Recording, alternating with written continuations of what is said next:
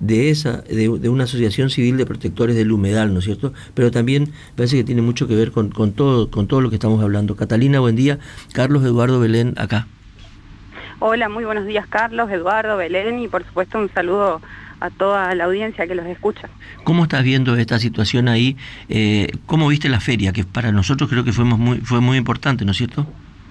Sí, sumamente importante para nuestra localidad, ya que fue la primera exposición rural, digamos, este, no solamente de acá de la localidad de Ituzaingó, sino de, todos los, de todas las localidades lindantes al norte con el río Paraná, es decir, nosotros acá en el norte no teníamos expo rural, eh, habían algunas concentraciones este, o remates y demás, pero no, no, no Expo Rural, teníamos la más próxima en Gobernador Virasoro y de ahí para abajo ya por la costa del Uruguay, ¿no es cierto?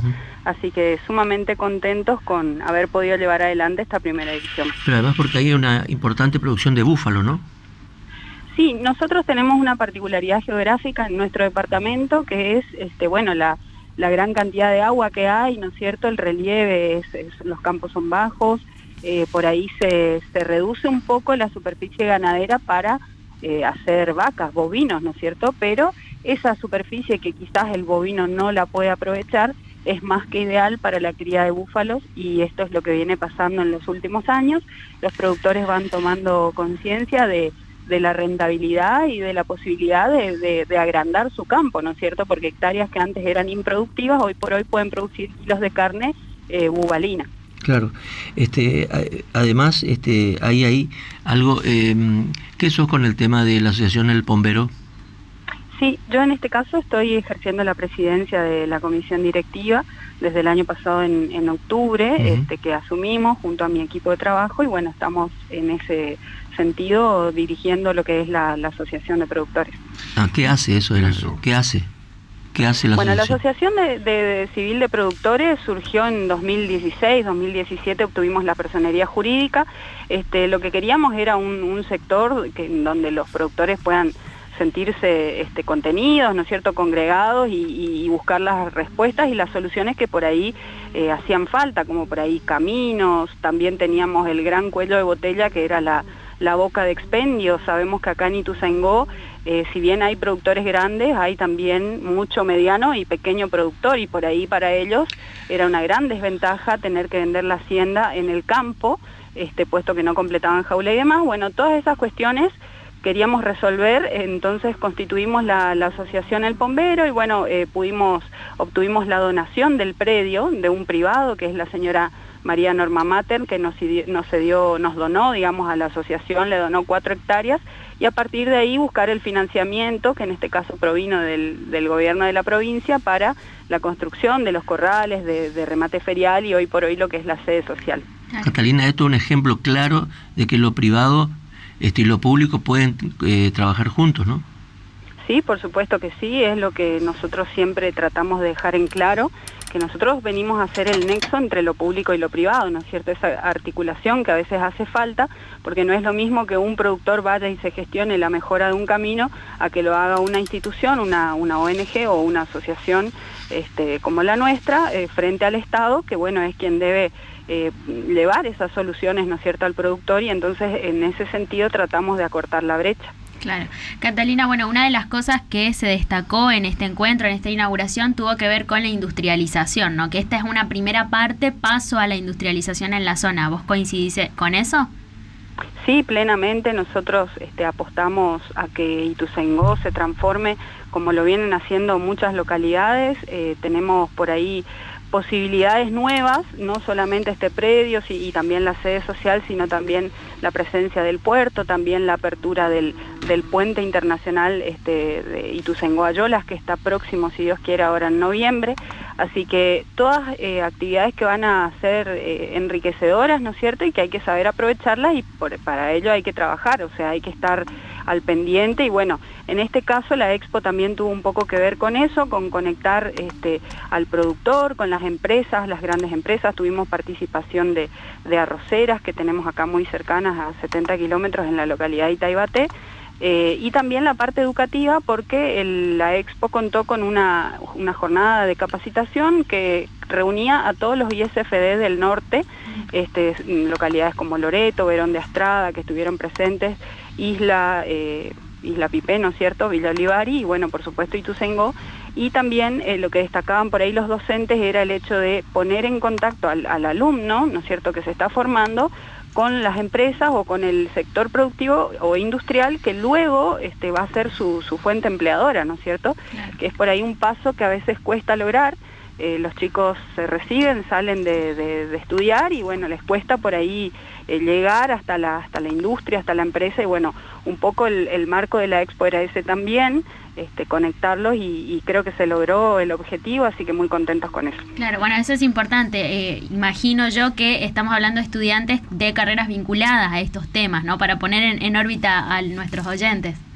Exactamente, son todas este, tecnicaturas, eh, la tecnicatura en producción, mm. ¿no es cierto?, que tiene la subsede de Verón de Astrada, en producción ganadera, también tenemos la tecnicatura en gastronomía, volvemos a hacer hincapié en lo que es el arroz, este, que es una de las principales producciones que hay acá en nuestra, en nuestra provincia, y eh, también la tecnicatura en, eh, turismo, que bueno, acá en Corrientes se conoce mucho lo que es el turismo en la ruralidad y bueno, eh, un montón de cuestiones que hacen por ahí necesaria la la presencia de personal capacitado, ¿no es cierto? Así que eh, esas personas fueron las que vinieron, concurrieron y estuvieron compartiendo con nosotros dos hermosas jornadas y creo yo que se fueron muy contentos por las devoluciones que obtuvimos después, así que la idea también es un poco que esta fecha de octubre ya quede fija en el calendario para que la región este, se vaya integrando cada vez más.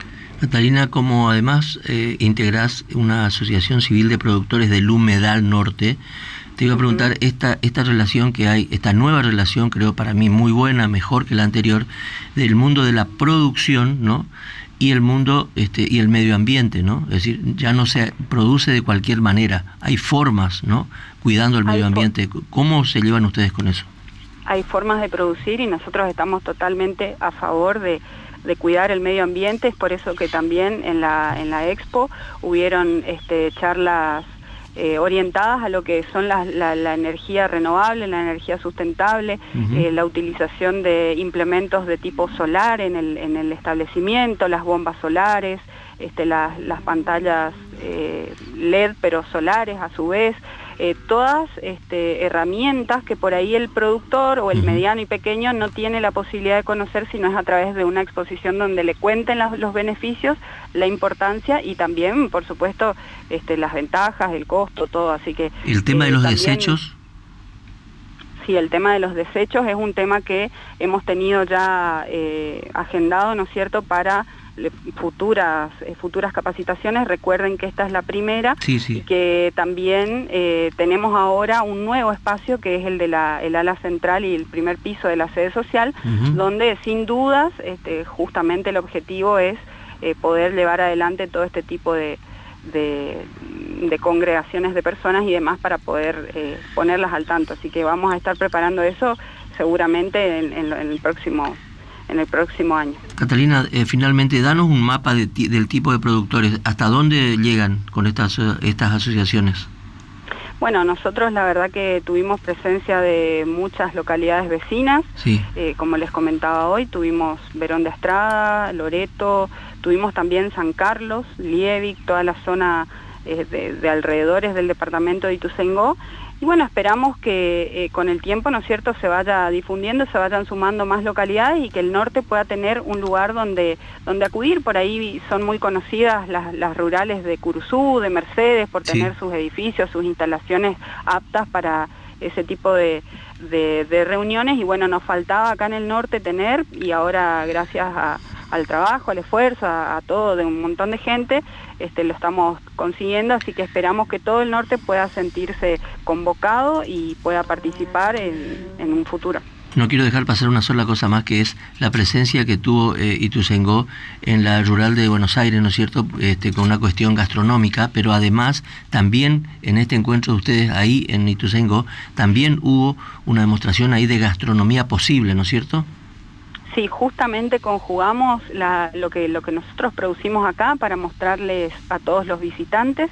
Tuvimos la presencia de dos chefs el día viernes que nos hicieron una degustación de carne de, oveja, ovina y carne bugalina a cargo de eh, justamente un grupo de productores que viene trabajando mucho por el sector, que es el grupo Búfalos de Libera. Y también combinamos eso con el arroz, como le decía hoy, que es una de las principales producciones acá de la provincia. Y el día, el día sábado sí ya tuvimos un chef de Brasil que también nos hizo una paella campera, que también en este caso eh, reversionada, ¿no es cierto?, a, la versión de Corrientes, este que en vez de ponerle, bueno, carne de, de res, le puso carne bubalina, Así que también estuvimos en ese sentido eh, tratando de hacer la mayor difusión, que la gente conozca, que por ahí le pierda la idea que tienen de la carne de búfalo y, se pueda consumir este, eh, tranquilamente, ¿no es cierto? Aportando también. Y una, una cosa más que quiero decirte, eh, aprovechando que sos veterinario. un segundito, ¿cómo es la paella campera? Me interesa mucho que tengo hambre a esta hora de la mañana. La verdad que novedoso para nosotros, no por ahí acá en, Argentina no, no, no, no solemos hacerlo, pero yo creo que a partir de esta degustación... Ah, pues paella para nosotros es, la paella valenciana, ponele, la, la, la que viene de España y que, que tiene eh, que, que, tiene pescado, ponele, ¿no? Marisco. Justamente es muy similar, es todo similar, igual a la paella valenciana, mm. eh, los condimentos, el azafrán, el arroz, este, la presencia de la cúrcuma, etcétera, mm. pero eh, reemplazan el pescado por justamente carnes de diferentes, por ejemplo, en este caso se utilizó búfalo, cerdo y pollo. Qué Así que, una especie de curanto pero con arroz, digamos, ¿no? Es decir, eh, que rescata la idea de que la paella es un poco la comida de con lo que tenés, digamos, ¿no? Claro. Y sí, y no, no olvidarnos por ahí nuestros orígenes este, españoles también, que tenemos eh, de, la época colonial, así que, eh, como le digo, adaptando esa, esa versión a lo que es nuestra producción local y bueno, tratando de, de que la gente quede conforme, que le guste y que sirva para justamente difundir, ¿no es cierto? Bueno, una cosa más, este, parece interminable la nota, pero me interesa mucho, además sos veterinaria, el tema de la leche uvalina es todo un tema, sobre todo por los quesos, ¿no es cierto? Y sobre todo por la mozzarella, famosísima, ¿no?